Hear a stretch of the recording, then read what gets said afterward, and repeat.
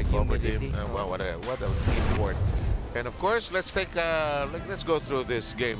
Rain or Shine had a one to nothing lead in the series. Blackwater had their backs against the wall, but they, they knew that they competed in game one. They had that chance, but they hoped that they'd have a better chance here tonight. Oh, Blackwater Elite uh, controlling the first 12 minutes of the ball game, 24 points for them, while limiting Rain or Shine to just 15. And out of that 24, Ray Parks was uh, a strong contributor with 8 points.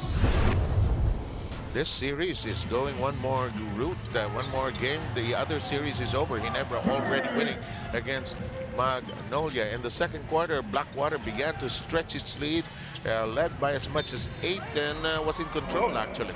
And Mocon uh, was a uh, good performer for Rain or Shine. Also his new career high with 23 points.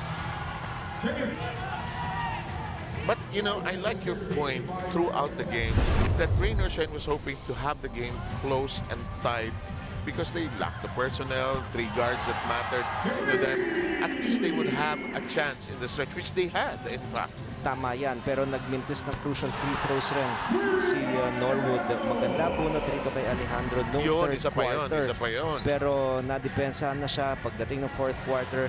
Tapos ng problema sa communication, ng pick and roll coverage sila. A lot of easy baskets for Greg Smith. 32 points, nabanggit na natin kanina. But it was still a tough affair after 36 minutes of play. Apat lang ang kalamangan ng Blackwater Elite. you know, Blackwater will get some time, at least a day, to work on the uh, pain that uh, Greg Smith uh, is experiencing, as reported by Denise Tan earlier. Baka dun, uh, and wow, big scramble and big plays by uh, Parks and even Greg Smith. alam mo yung uh, unsung hero para rito sa Blackwater. Kitang-kita naman contribution ni Parks. Ngayon, yung uh, shot na yan ni Smith. But yung composure ni Mike Cortez, especially in the last one minute, he made big plays. Hindi natin makikita sa score niya, pero alam na alam mo na yung veterano naglaro at nakatulong para sa kanyang kupunan.